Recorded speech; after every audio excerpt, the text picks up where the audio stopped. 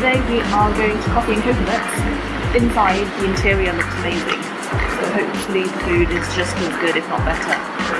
I'm so hungry. Very hungry.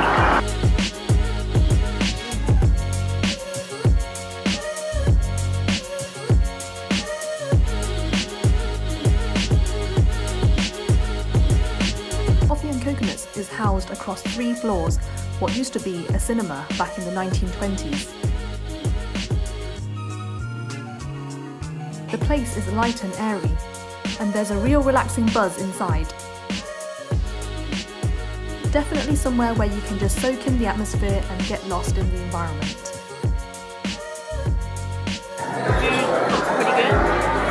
Um, loads of options. Breakfast, lunch, dinner.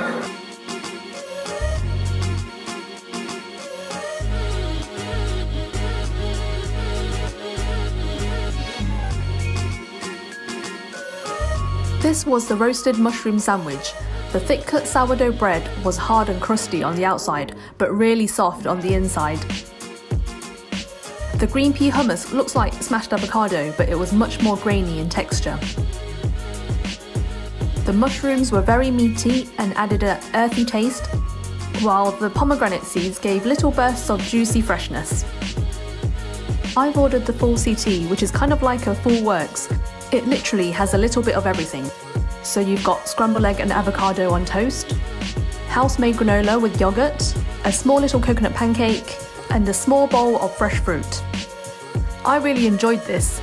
There were so many elements to it, it was like a little buffet. If you can't decide what to get from the menu, then this is the one to go for. On the toast, you had a bit of crumbled feta and olives, which contrasted against each other.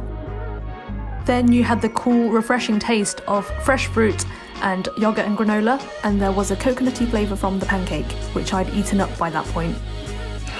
This is why you need to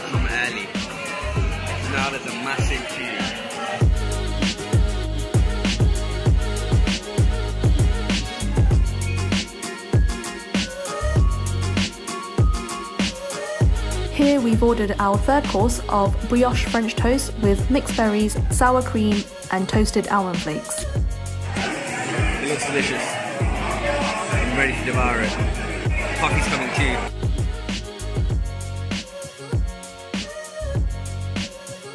The French toast was soft with a slight crispiness on the outside. The different berries kept it light and refreshing. And the cranberries gave little bursts of sourness. The toasted almond flakes also worked really well, giving a smoky savouriness to the dish. It was so moreish and delicious. I wish I had one to myself.